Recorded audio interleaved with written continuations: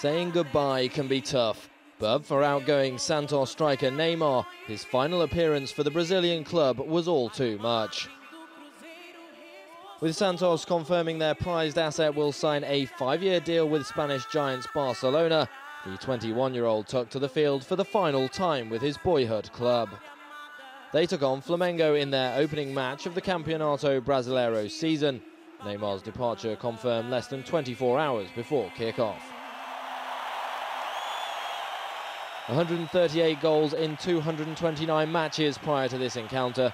He was looking to bow out on a high in the first game at the new Mané Garrincha Stadium, one of the 12 to be used in next year's World Cup in Brazil. But he looked out of sorts early on, this effort failing to match the striker's mazy run.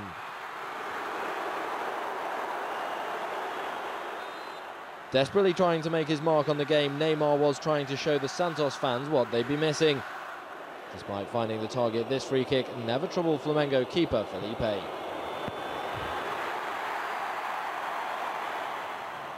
Helping Santos to a Brazilian Cup, a Copa Libertadores and three straight Sao Paulo State Championships, Neymar couldn't work his magic here as it finished goalless.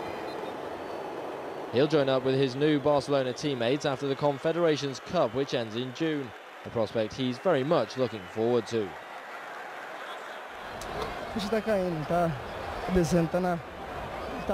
It's sinking in a little more now that I'm going to Barcelona. I'm going to drink a bit of water and relax so that it really starts to sink in.